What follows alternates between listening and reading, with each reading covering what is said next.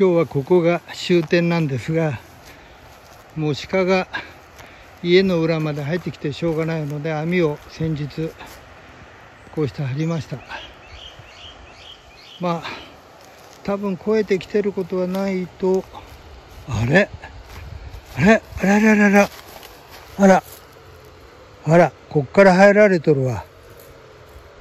ここ破られとる。どうも入ってきておかしいと思ったら破られてるわ。やられたな。よ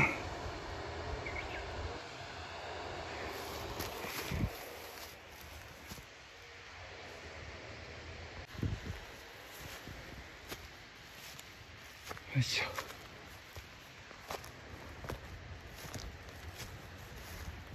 はいやっぱりね横の方は枯れません。あの自走式草刈り機が転がって落ちたりしたら困るんでまあギリギリまで自分としては買っていますが、まあ、これ以上無理かな。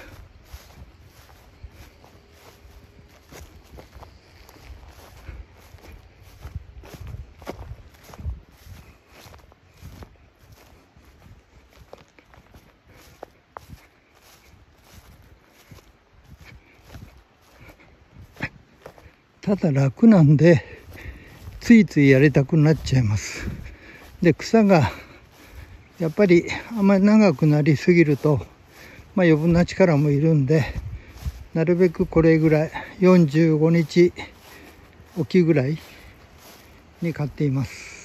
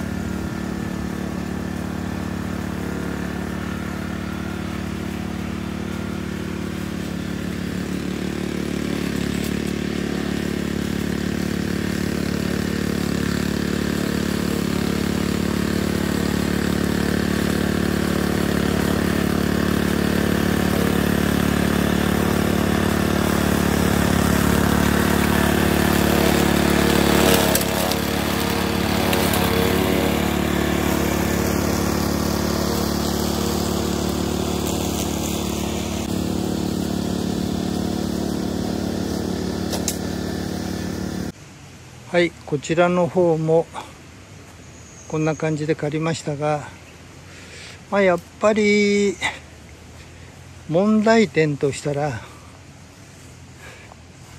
手で持ってやる草刈り機のようにまあこういう周辺までが枯れないということですよね。でこういう部分については除草剤をまいているという感じです。でこちら木のそばギリギリまで買ってますがなかなかやっぱり借りにくい。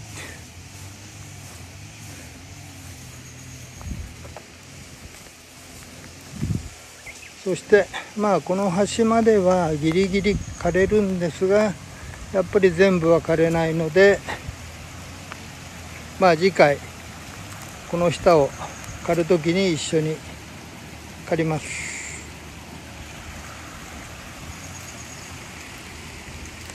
まあこういう感じですね。これ綺麗でしょ？うもう本当にねあの借りたくなるんですよ。すぐ機械だと楽なんで。気持ちいいよねこれも。うキャンプもしたくなるし。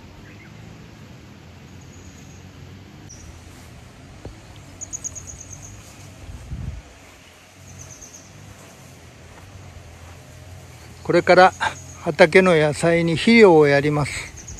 まあ追肥をしないとねちょっとやっぱ大きくならない。